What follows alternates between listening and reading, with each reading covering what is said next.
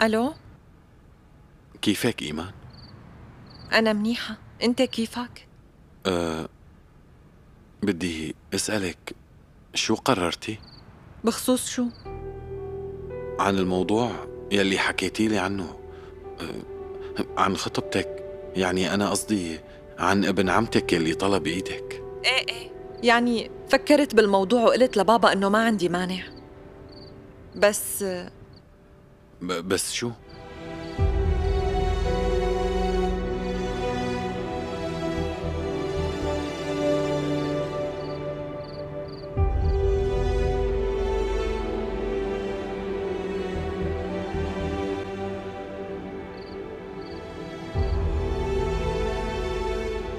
إيه وبعدين؟